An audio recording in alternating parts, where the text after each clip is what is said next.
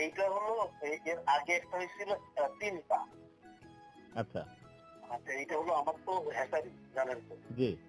তো ওইখানে হাজার হাজার বাচ্চা বের হয়। এইটা হয় কি অনেক সময় মানে ওরা তো বাছাই করে।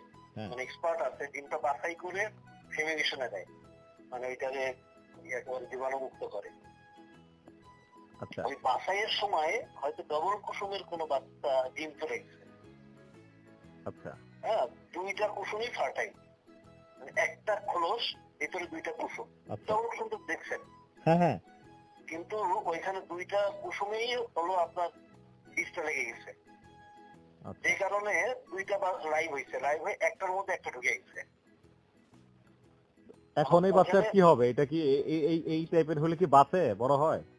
আমি ওই জন্য এটা আলাদা করে রাখছি কারণ এটা একদম আনকমন এটা আলাদা করে রেখে দেখে এটা নার্সিং করে। ওর মেইন ছিল হলো যে ওর পায়ুপথ ছিল কিনা। এখন এই পরীক্ষা করে দেখুন যে পায়ুপথ আছে ও- পায়খানা করতেছে।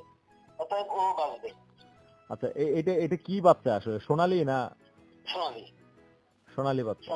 এটা হলো সোনালি হাই সুপার হাইব্রিড ও। লাইভ আমার কাছেই আছে। বাহ।